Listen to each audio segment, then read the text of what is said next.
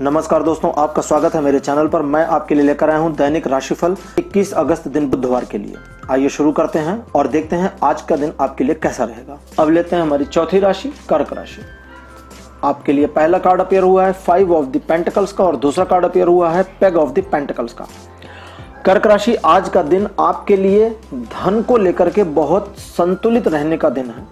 आज बड़ा संभाल के खर्च करें किसी को उधार ना तो दें, न तो किसी से उधार मांगने की कोशिश करें। अगर आप किसी समस्या में आते हैं तो कम से कम आज के दिन को निकल जाने दें। किसी से कर्ज वगैरह लेकर के अपने आप को नाहक परेशानी में ना डालें। इसके अलावा धन को लेकर के आपकी कुछ ऐसी योजना हो सकती है आज, जो फ्यूचर में आपको बहुत ज़्यादा बेनिफिट दे दे। तो अगर ऐसी कोई योजना आपके पास आती है तो उस पर ध्यान दें। उसके नुआंसेस पर आप थोड़ा गौर करेंगे तो आपको सारी चीज़ें खुद ब खुद मालूम पड़ जाएँगी। आज हालाँकि आप परिवार के साथ बहुत बढ़िया समय बिताएँगे, लेकिन फिर भी धन को लेकर थोड़ी समस्या पारिवारिक मामलों में भी बनी रह सकती है।